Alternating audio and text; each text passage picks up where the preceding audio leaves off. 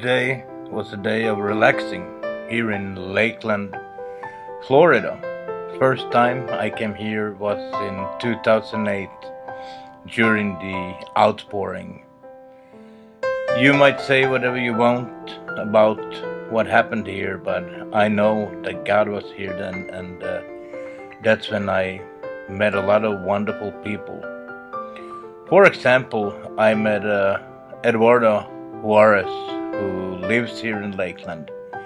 He has an awesome testimony, and today I hooked up with Eduardo again. But before that, God blessed me with a cup of Starbucks coffee. It's on me today. Is it? It is. It is on me today. Why? Because you had to stay here for so long waiting on a cup of coffee. Oh, thank you and God bless you.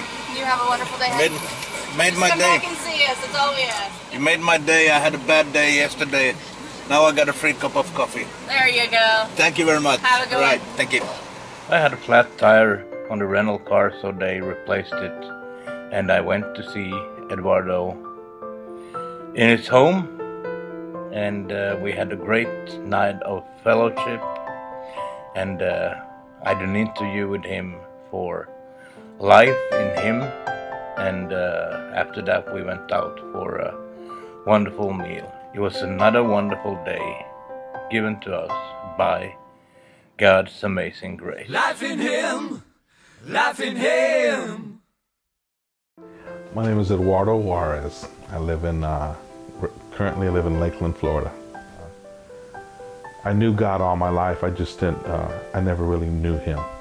I had head knowledge of Him, but I never really let Him in those places in my life. Uh, uh, our daughters actually come to know God first. To me, a man's man now is someone uh, like you, Pontus, uh, someone like uh, a brother Jason Lee Jones or Todd White or Georgian Banov who is willing to cry and to reach out for the lost. I don't want a rock to outcry me. Even though I feel like a rock sometimes, I don't want a rock to outcry me. You know, I, I want I want God to, you know, when He looks to and fro in the earth every day, He'll stop because He hears Eduardo in Lakeland, Florida saying, Oh God, I love you.